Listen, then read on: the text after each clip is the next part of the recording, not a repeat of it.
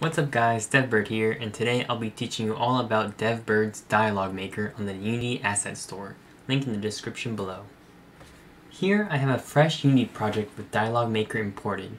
The first thing you'll want to do is to navigate to the Tools tab under Dialog Maker, select the Setup Wizard.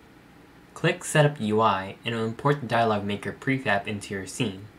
If you don't have TextMesh Pro, it will ask you to import it, which is required for Dialog Maker. Now let's head over and select the Locate Settings button. The settings asset will be pinged, and here we can tweak a bunch of settings, but for this demo, I'll only be filling out the dialog box, the next button, and the nameplate. The next step is open the character creator and create a character. The two important bits are the default portrait and the name of the character which doubles as the file name. The main feature of the character creator is the unlimited custom portraits. Click add new portrait and set the sprite and fill out the name. For now, I'll quickly fill this part out and create a secondary character to converse with. Make sure to hit Save Character once you're finished. Now we can look at the dialog creator in the Tools tab. Here, the first thing you'll want to do is add your characters to the dialog graph. Once you've loaded your characters, we can start making dialogue. To create a node, right-click anywhere on the graph and select Create Node. A menu will appear with all the different nodes to choose from. Let's start with the dialog node. Select the character you want to speak and their portrait.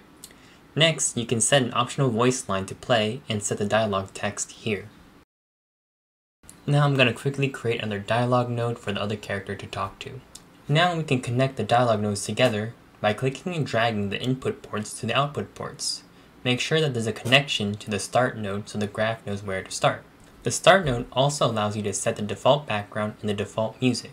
For this demo, I'm only going to set the default background.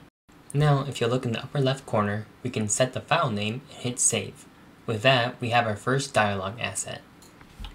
Now I'll show you how to trigger the dialog in your code. Let's open up a new C-sharp script and call it trigger dialog start.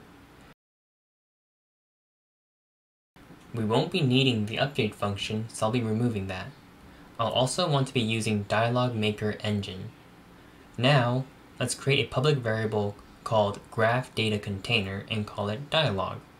This is going to reference that dialog asset we created. Next, let's call dialog dot in the start and pass the dialog variable. With that, we can now close the script. Let's create an empty game object and drag and drop the new script.